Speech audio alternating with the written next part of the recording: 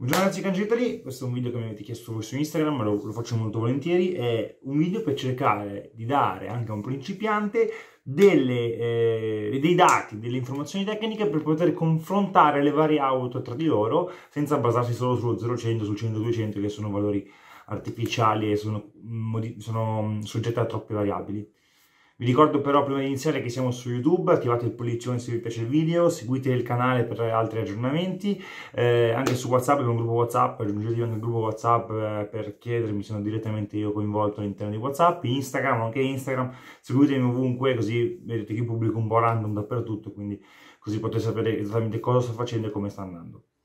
Detto questo sigla e poi cominciamo, dai!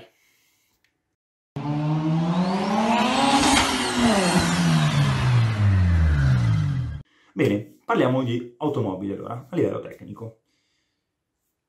Cominciamo col dire che le macchine hanno quattro ruote e penso che fino a qua non ci siano dubbi. Contatele, vi assicuro che sono quattro.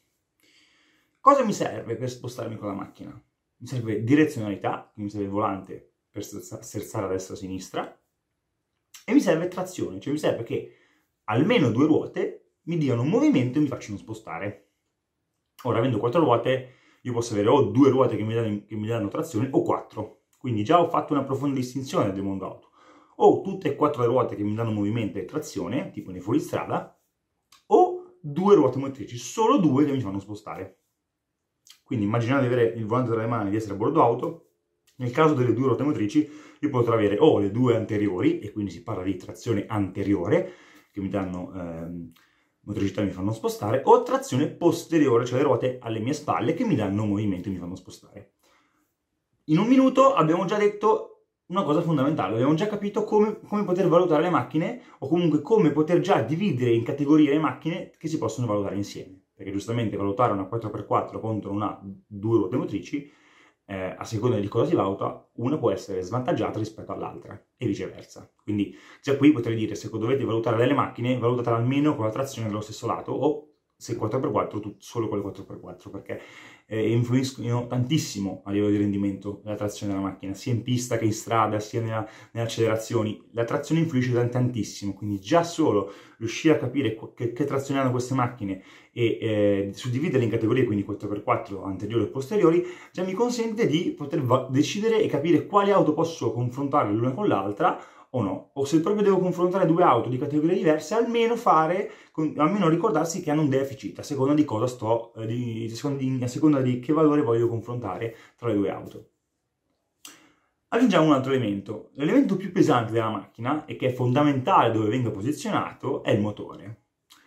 Eh, il motore può essere posizionato ovunque sulla macchina, può essere posizionato anteriormente, quindi davanti a me, sempre immaginando di essere confrontato alle mani, può essere posizionato alle mie spalle, quindi motore centrale, al posto dei famosi sedili posteriori, se sportiva hanno il motore al posto dei sedili posteriori, nella, nella, parte centrale della macchina, o nel caso del maggiolino, il famoso maggiolino, o la 500, la prima 500, o ad esempio Porsche, il motore è posizionato posteriormente, cioè sopra, letteralmente sopra le ruote posteriori o addirittura dietro le ruote posteriori. Questo ovviamente influisce tantissimo nel rendimento della macchina, perché la distribuzione dei pesi è fondamentale, nel rendimento in curva, nell'accelerazione influisce tantissimo. Quindi anche in questo caso abbiamo aggiunto un altro elemento, dove è posizionato il motore. È fondamentale capire dove è posizionato il motore e, e giustamente poi capire eh, quali vantaggi può dare e quali svantaggi può dare.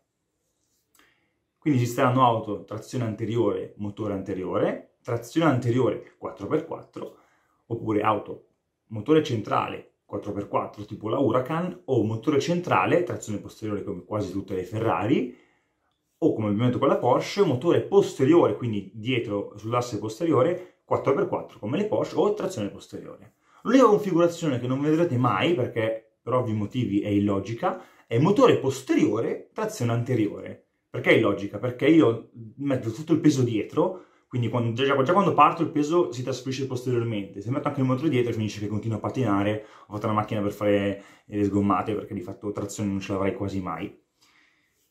Quindi abbiamo già contestualizzato in 3 minuti scarsi, in 4 minuti scarsi, abbiamo contestualizzato già dove si mette il motore, che tipo di trazione posso avere. Già con questi dati vi assicuro che se andate a confrontare le auto che hanno potenza e peso simile, suddividendole per queste categorie, noterete che i valori sono molto vicini perché state confrontando auto con un'altra tipologia di auto corretta.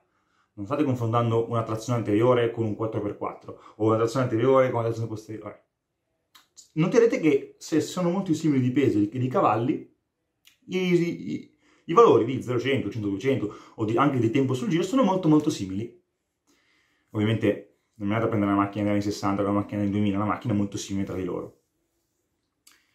Quindi già con questi valori io posso andare a confrontare le auto. Facciamo degli esempi, no? Uh, poi anche a livello di valori, io uh, non li guardo molto i 0,100, i 100, 200 perché sono valori che sono troppo condizionati dalla tipologia di cambio o dalla tipologia di rapportatura che ha la macchina.